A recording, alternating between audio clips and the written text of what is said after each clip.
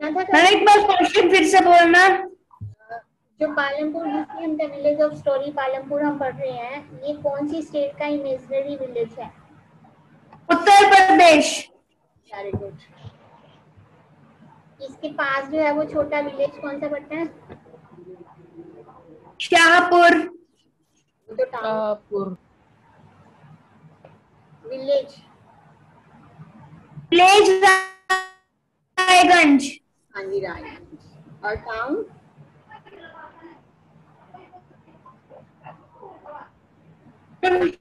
शाहपुर हाँ जी शाहपुर पड़ता है शाहपुर अच्छा और हमें कितनी फैमिलीज़ रह रही है वहाँ पर?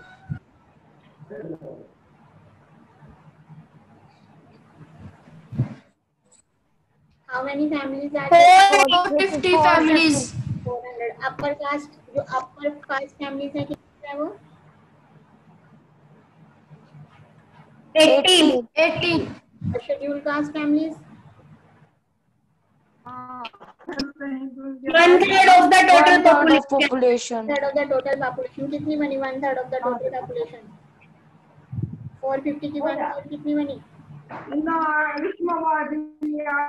फ़ोन करो सुन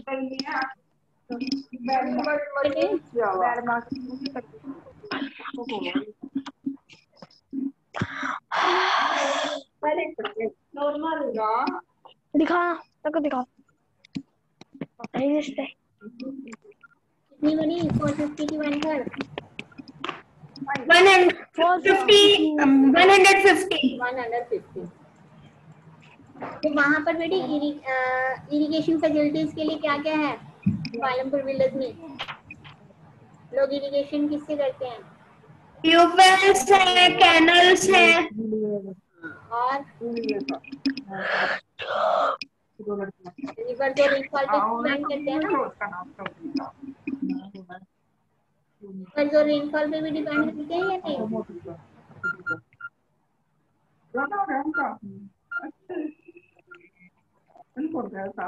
इसके बाद है बेटे जो हम कल कल हमने किया था फैक्टर ऑफ़ प्रोडक्शन कौन कौन से होते हैं factor of production land labour physical capital human capital physical capital and human capital human capital fix fix land जो होती है वो क्या है बेटे एक क्रेडिट रिसोर्स है वो। Fixed. फिक्स है ना? लेबर जो होती है वो टू टाइप्स की होती है। कौन कौन सी टाइप होती है लेबर की? लेबर की टाइप बताओ। सर हाँ तो लिया नमन आंसर दो लेबर की टाइप्स कौन कौन सी टाइप्स की लेबर है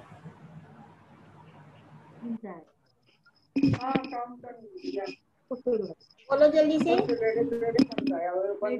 ये आवाज़ आ रही है बेटी ले मम्मी पापा से अलग कमरे में जाके बैठो ऊपर बैठ गया माँ उस पर चढ़ चढ़ का काटना टंकी में तो बैठे रहे टंकी में बैठा उड़ा आवाज़ आ रही है पीछे से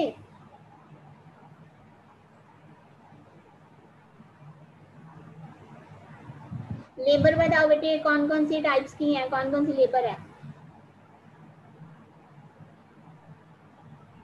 मैम एक एजुकेटेड लेबर दूसरा manual labour educated labour and manual labour two types की लेबर है और कैपिटल बाकी उन्हें Neeru Mittal Rohan Tina Jasmine Ishmeet answer दो बेटे. Ma'am physical capital fixed capital human capital physical capital में भी आगे टू टाइप्स हैं कौन कौन सी है? Fixed capital working capital fix capital कौन सी है? नमन नमन डाया। फिक्स कैपिटल कौन सी? एग्जांपल बताओ फिक्स कैपिटल का। Chahat Gaurang Amrita Saksham. Generators turbines turbines computers ठीक है बेटे। और working capital raw material and money हाँ Raw material and money. Raw material money raw material and अच्छा मनी फोर्थ रिक्वायरमेंट कौन सी है? फोर्थ फैक्टर प्रोडक्शन का फैक्टर कौन सा है? क्या चाहिए? ह्यूमन कैपिटल ह्यूमन कैपिटल इसको क्या बोलते हैं? क्या बोलते हैं इसको? At the name of human capital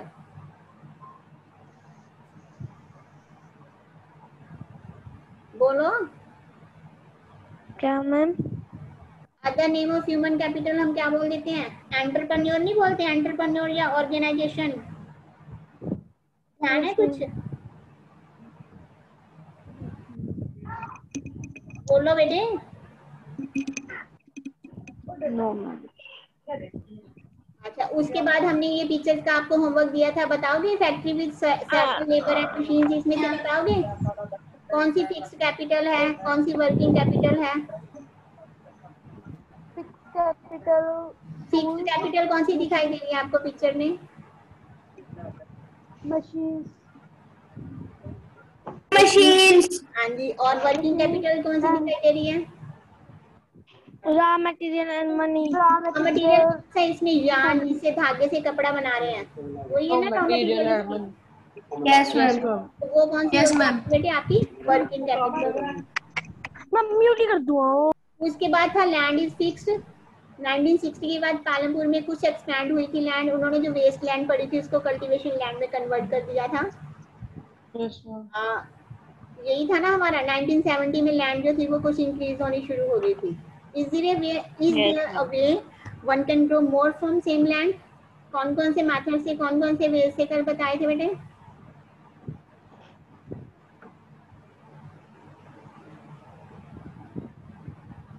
There are two types seasonal crops कौन कौन सी क्रॉप्स है वो?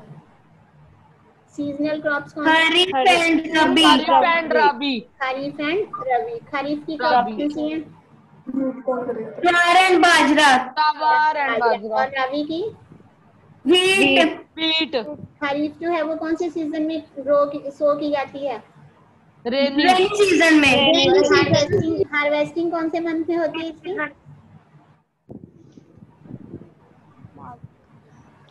October, November. वेरी गुड उसके बाद एक और थर्ड फ़र्स्ट थर्ड क्रॉप जो है वो वहाँ पर बेटे उगाई जाती थी। कौन सी थी वो? Potato and sugar. cane. Potato कौन से मंथ में होता था? कब कब से कब तक होती थी? Between October and October to December. October very good homework आप लोग? किया हुआ होमवर्क नहीं किया था ना बेटे कल हमने? Yes, ma'am. Yes ma'am Yes, ma'am. What do you mean Yes, by ma'am. multiple cropping?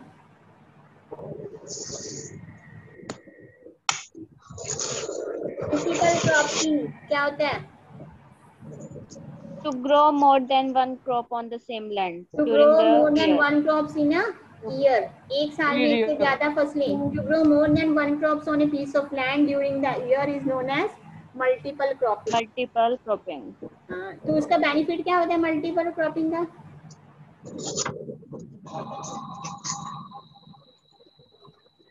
Benefit क्या लिखो बताओगे बेटे इसके मल्टीपल अगर थ्री मार्क्स में क्वेश्चन आएगा ये तो वन मार्क्स से क्वेश्चन का आंसर दिया आपने। What do you mean by multiple cropping what are its benefits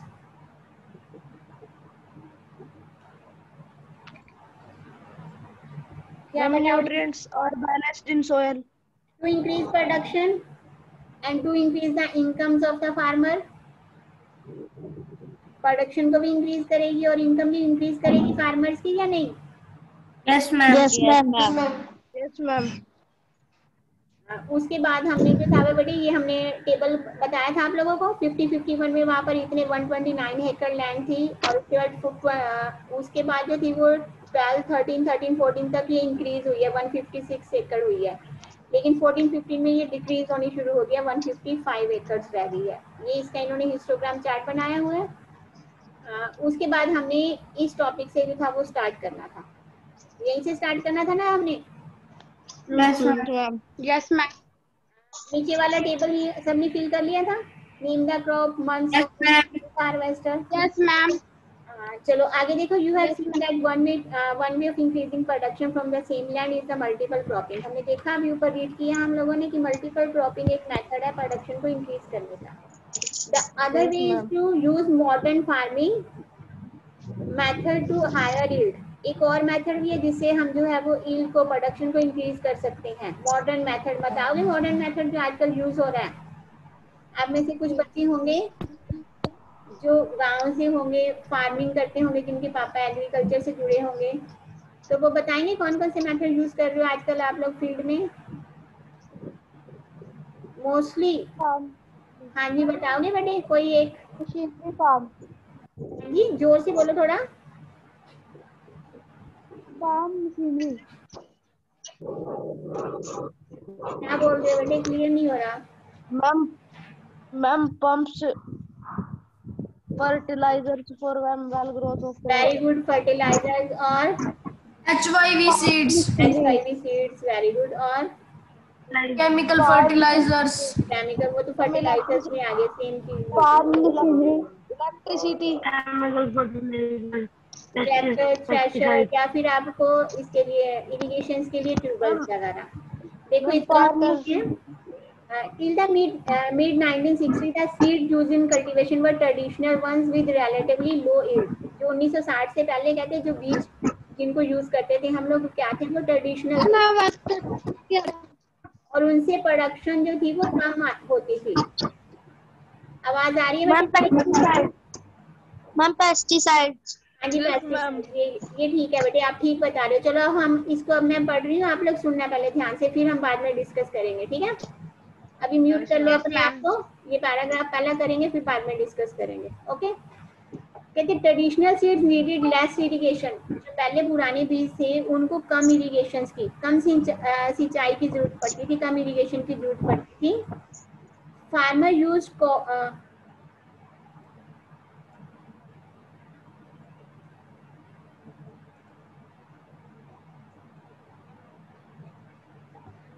farmer use cow dung and other natural manure as fertilizers किसान क्या यूज़ करते थे बेटे? ज़्यादातर गोबर को या फिर दूसरी और जो खाद थी, उसको एज ए फर्टिलाइज़र यूज़ किया जाता था। All these were are these were readily available with the farmers who did not have to buy them. ये बड़ी आसानी से easily जो था वो किसानों को मिल जाता था और उसके ऊपर उनको पैसा भी इतना खर्च नहीं करना पड़ता था। The Green Revolution in the late 1960s introduced the Indian farmers to cultivation of wheat and rice using high yield varieties of seeds. ये आपसे पूछ लेते हैं एच वाई वी की फुल फॉर्म बताओ। या what do you mean by H Y V H Y V क्या हो गया आपका? High yielding high yielding varieties अच्छी क्वालिटी के बीज जिनसे की प्रोडक्शन को बढ़ाया गया है। ग्रीन रेवोल्यूशन जो है वो इसका एक एग्जांपल है। जो इंडिया में 1970 के बाद ग्रीन रेवोल्यूशन आई थी वो इसी वजह से आई थी। एच वाई वी सीड्स का यूज़ किया गया था। HY uh, compared to the traditional seed, the HYV seeds pro, uh, promise to produce much greater amount of grain on a single plant.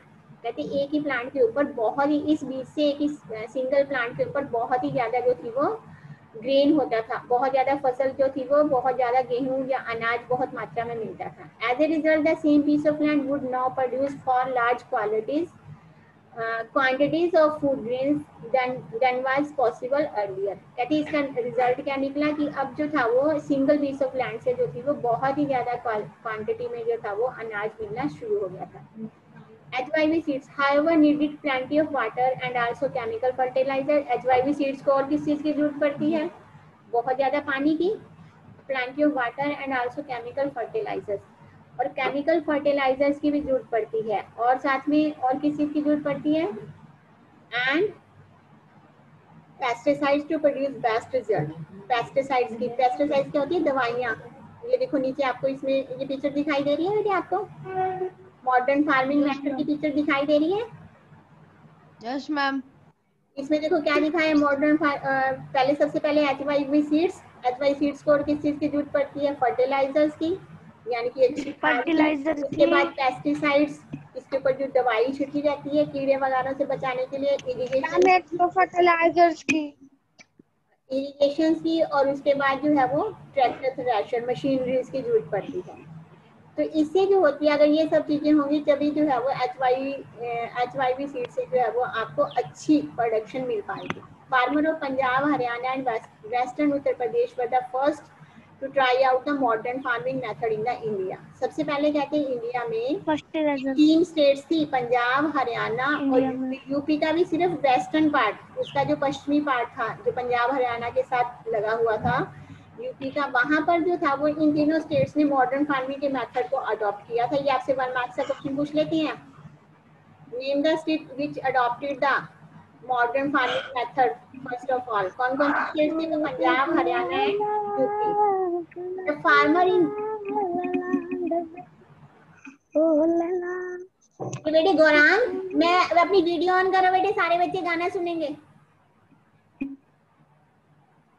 Video on करो सारे, ये बेटे आपकी recording हो रही है, सारी जो आप कर रही हो ना, ये मैं रिकॉर्ड कर रही हूँ। बीच में आप बोल रहे हो या जो भी आप हरकतें कर रहे हो, ये सर्व आपकी रिकॉर्डिंग हो रही है।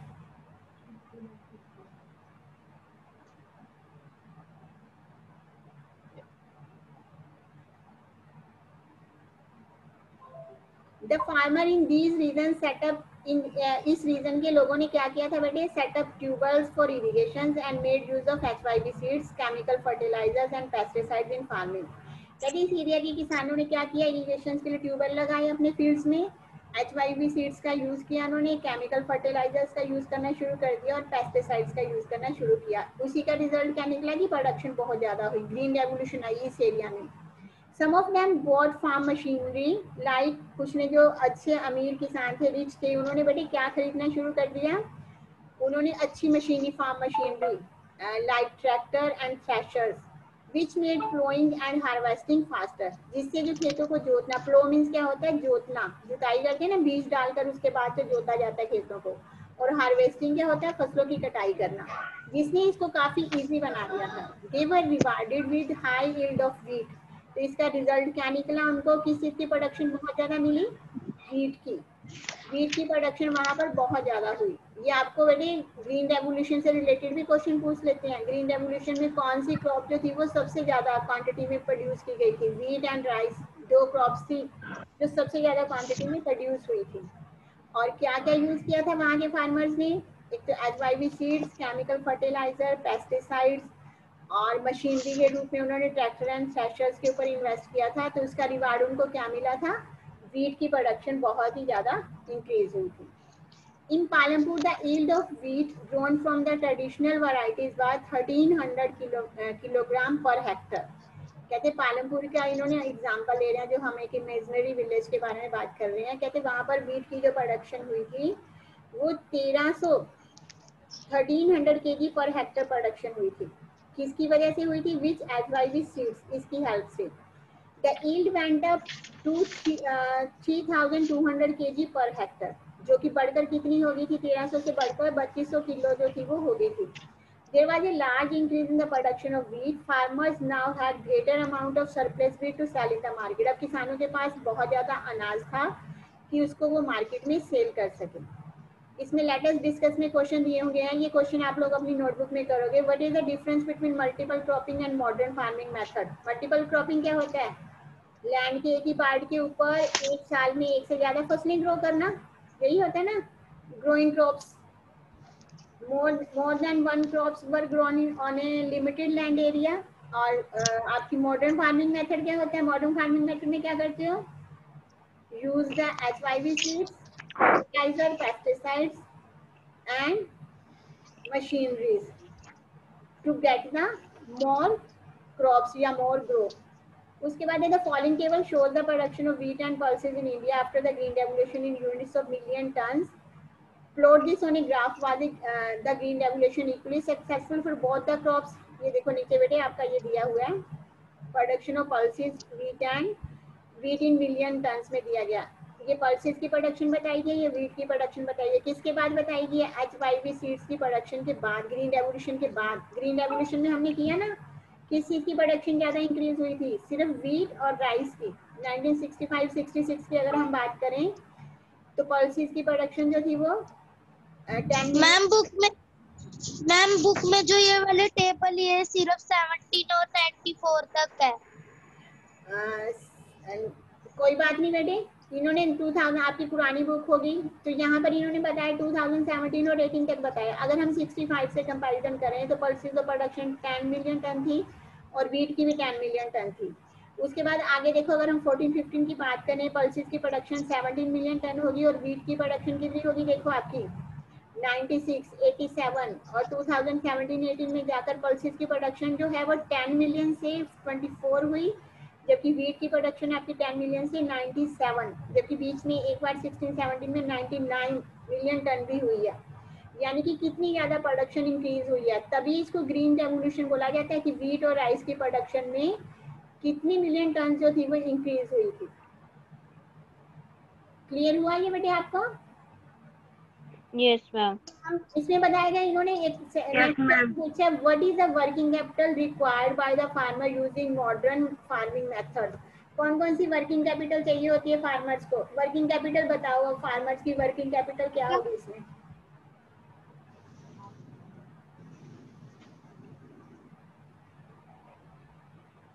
क्या ट्यूबवेल वर्किंग कैपिटल है? बोलो बेटे जल्दी से। ट्यूबवेल वर्किंग कैपिटल है? नो मैम कौन सी कैपिटल है? No, ma'am. No ma'am tubewell fixed capital है ना तो वर्किंग कैपिटल आपकी इसमें क्या होगी? H Y V seeds working capital होगी ना? मैम फर्टिलाइजर्स पेस्टिसाइड्स ये सारे आपकी वर्किंग कैपिटल होगी। उसके बाद है बेटे आपका modern farming methods require the farmer to start with more cash than the before जो मॉडर्न फ़ार्मिंग मेथड है उसमें किसानों को बहुत ही ज़्यादा पैसे की ज़रूरत पड़ती है जबकि ट्रेडिशनल मेथड में नहीं पड़ती थी। उसके बाद ये एक्टिविटी दी गई है। During your field visit walk to some farmers your region find out what kind of farming method modern or traditional or mixed do the farmer use right and all हाँ, ये बेटे आप अपने आसपास पूछ के या कोई आपके फ्रेंड हैं जिनके पापा फ़ार्मिंग करते हैं उनसे पूछ के इसको फिल करना कि वो कौन सा मेथड अडॉप्ट करते हैं। मोस्टली लोग जो है वो मॉडर्न और मिक्स मेथड अडॉप्ट करते हैं। And what are the source of irrigation के सोर्सेज के अपने आसपास? मोस्टली आप देखोगे सारे कॉपी में लिखने हैं। हाँ जी ट्यूबवेल्स लगे हुए हैं सब में how much of cultivated land is irrigated very little near half या majority majority of land was irrigated in our surrounding from where do farmers obtain the input that they require उनको inputs कहाँ से मिलती है? तो। बहुत सारे sources हैं जिनसे वो लोन वगैरह ले सकते हैं। है ना बहुत सारे सोर्सेज यस मैम ये क्लियर हुआ बेटे जो हमने अभी रीड किया? यस मैम ये जो यस आपकी मैम ये आपकी पिक्चर बनी है ना मॉडर्न फ़ार्मिंग मेथड. ड्रॉ करना अपनी नोटबुक में? ठीक है मैम मॉडर्न फ़ार्मिंग मेथड आप ड्रॉ करोगे बुक में ठीक है? यस मैम ये वाला हो गया आपका ड्रॉ करने का और टेबल हो गया ड्रॉ करने का। अब इसमें जो इसमें अगर जो जो अब तक हमने किया इसमें कोई प्रॉब्लम है तो पूछो। नो मैम क्या ड्रॉ करना है? हाँ जी बेटे। मैम पिक्चर ड्रॉ है करनी है? एक तो बेटे हमने पीछे ये टेबल ये वाला टेबल ये आप लोगों ने बुक में भी करना है कि नोटबुक में भी करना है? ओके ओके और एक आप लोगों को ये भी वैसे लैंड ये ये जब हम टॉपिक करेंगे तब करेंगे। ये वाला ये चीज़ modern farming method yes ma'am clear हो गया बेटे? Yes ma'am yes okay ma'am हाँ, आज हम इतना ही करेंगे। अगर कोई प्रॉब्लम है तो पूछो।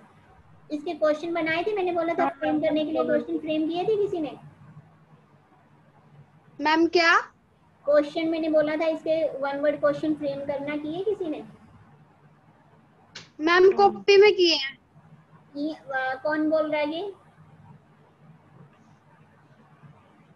किसने भी किए बेटे? तुषार?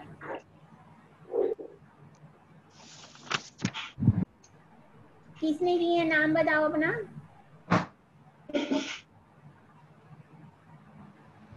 बोलो बेटे, जल्दी से किसने किए हैं? फ्रेम क्वेश्चन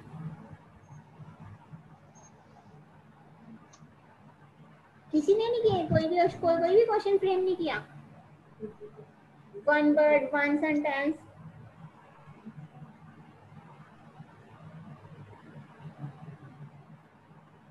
मैंने आपको क्वेश्चन पुट किए थे उन क्वेश्चंस को आपने अपनी नोटबुक में या उसके अलावा अगर आपको लगता है कि ये क्वेश्चन बनता है किसी ने कोई क्वेश्चन फ्रेम नहीं किया? वेरी गुड मैम बुक में अंडरलाइन कर रखे हैं इंपॉर्टेंट लाइंस यस मैम किए हुए अंडरलाइन यस मैम बताना समरी बताना जो अब तक हमने पढ़ा है क्या क्या है? बोलो समरी जो अब तक हमने पढ़ी है क्या क्या स्टैंड हो जाओ।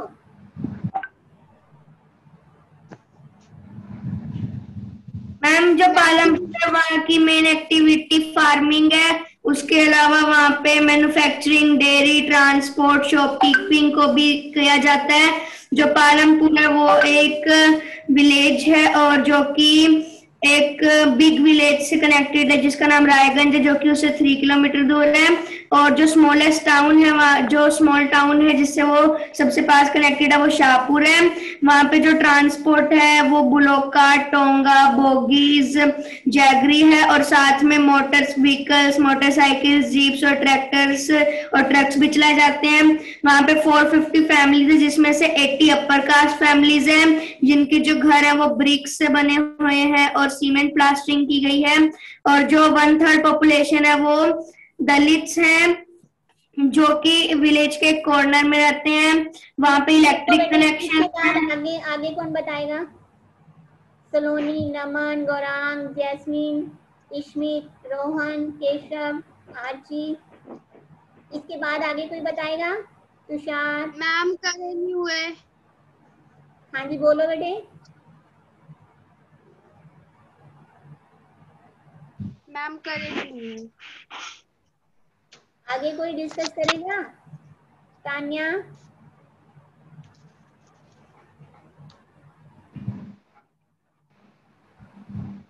आगे कोई नहीं डिस्कस करता?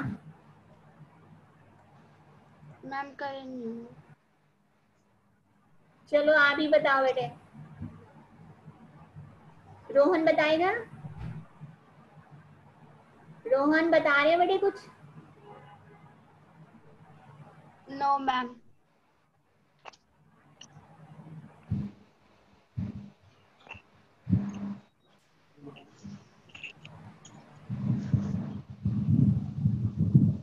अ, ये बेटे जैसे आज हमने डिस्कस किया कल हम इसको आगे ऐसे ही डिस्कस करेंगे ठीक है? आप लोग सब तैयार हो गए सबको पता होना चाहिए हमने इसमें क्या क्या रीड किया। यस मैम कल को करेंगे। कल को सबसे सबसे पूछूँगी सब हम लोग ऐसे ही डिस्कस करेंगे ओके मैम आज भी हम मीटिंग यहीं पर ओवर करते हैं। आ, कल फिर मिलते हैं okay yes ma'am okay bye okay ma'am bye ma'am